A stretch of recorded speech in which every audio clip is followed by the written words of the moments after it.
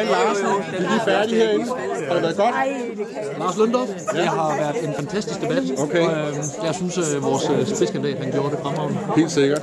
Og vi kommer helt sikkert fra et parti, hvor vi er tættere på patienterne end alle andre. Det er der jo ikke nogen tvivl omkring. Så Altså, vi kunne jo høre, at øh, de borgerlige egentlig bare vil gøre folk til kunder. Øh, de skulle ikke behandle som men- mennesker længere, men kunder, der skulle aflevere penge i vækst. Øh, skræmmende tanke, synes jeg. ja, det er jo forfærdeligt. Super, Dan. Jeg håber på, at du får et godt valg. Jamen, jeg kan godt fortælle, at hvis jeg ikke selv... Skal der ikke klappe Det er godt. Det er godt valg. I lige måde, Lars. Tak for det.